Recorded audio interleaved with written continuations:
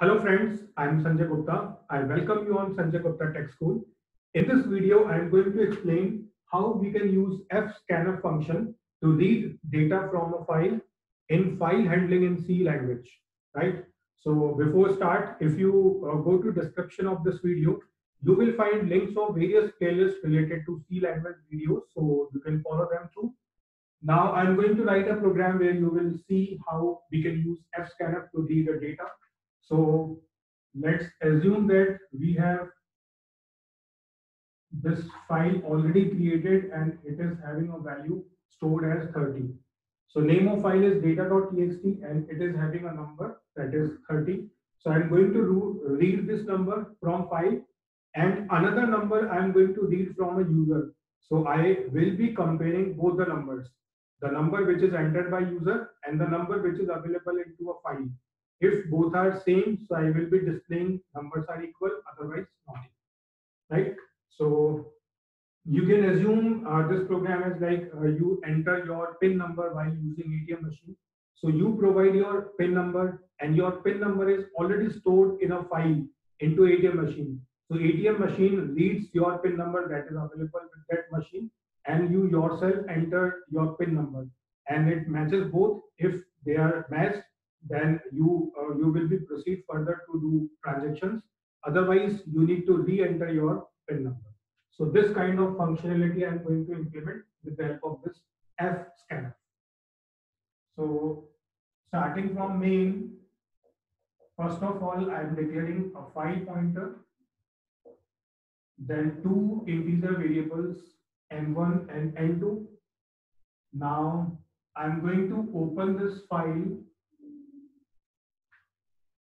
data.txt into read mode.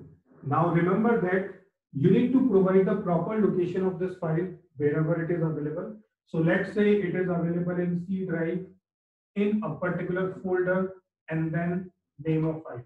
So if you have a fully qualified path, you need to put it here so that uh, your file can be read successfully. Now, if file is not available or not present or if it is deleted by someone and still you are trying to open this in read mode.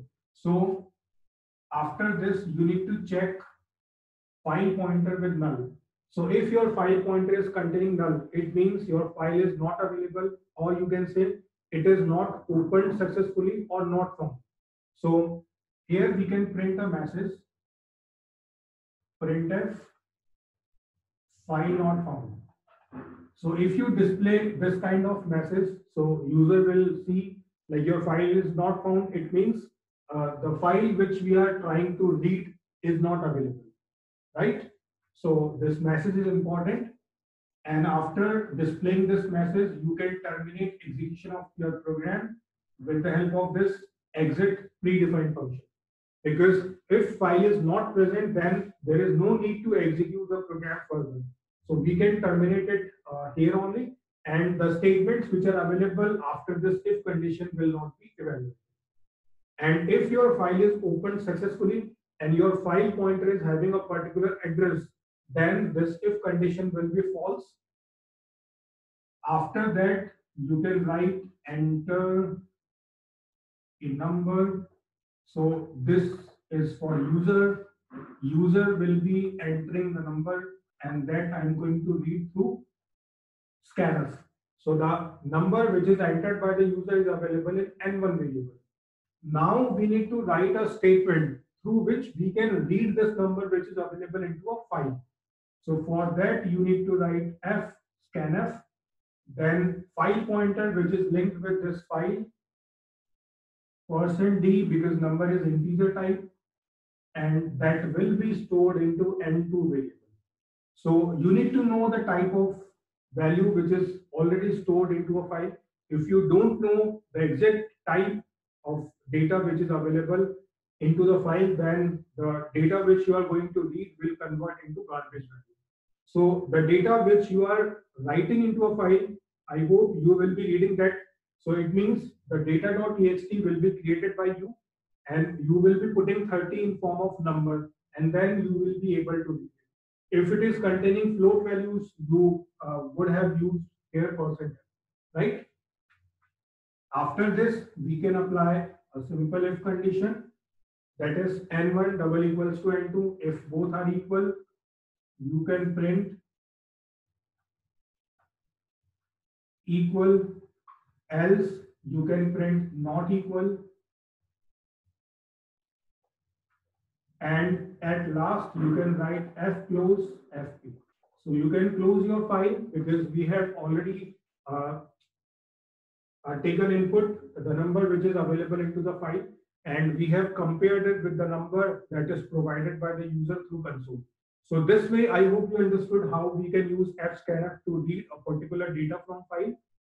If you have float values or any other data type that is uh, stored into this file, so accordingly you can change your type. So right now we are using n2 as int. So further you can change it to float and in place of percent %d, you can use percent %f here, right? So whatever type of data is available into file, accordingly you can change your uh, variables type and format specifier so that fscanf can read your data in proper format.